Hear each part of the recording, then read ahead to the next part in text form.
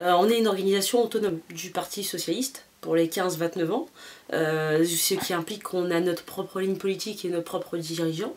Euh, donc on fait la campagne des primaires citoyennes, c'est-à-dire qu'on organise des porte-à-porte, des tractages, des rendez-vous avec des citoyens dans des lieux comme des centres sociaux, des bars, dans les quartiers pour être au plus proche d'eux, en leur expliquant la démarche des primaires et pourquoi c'est une chance de, participer à, ces primaires.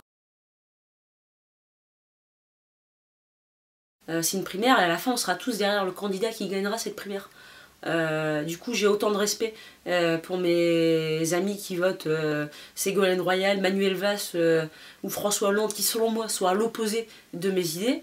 J'ai du respect aussi pour mes amis qui défendent la candidature de Martine Aubry, qui je me rapproche un peu plus d'elle.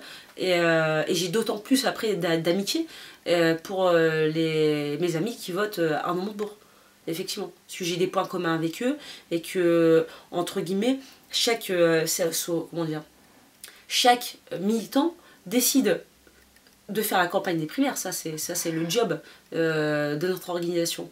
Puis après chaque militant décide à côté de prendre du temps supplémentaire pour faire la campagne d'un candidat ou d'un autre. Donc voilà, moi j'ai pris la décision de prendre du temps pour faire la campagne d'Arnaud Montebourg.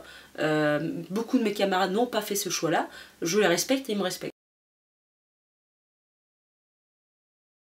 Effectivement, quand on rencontre des gens, ils ont bien évidemment euh, une idée sur un tel ou tel candidat, euh, mais cela n'empêche, on est avant tout là pour parler des primaires et non pas pour faire euh, l'apologie d'un candidat par rapport à un autre. On ne fait pas de prosélytisme pour un candidat, on fait vraiment la campagne pour les primaires, pour qu'un maximum de gens puissent s'exprimer sur les primaires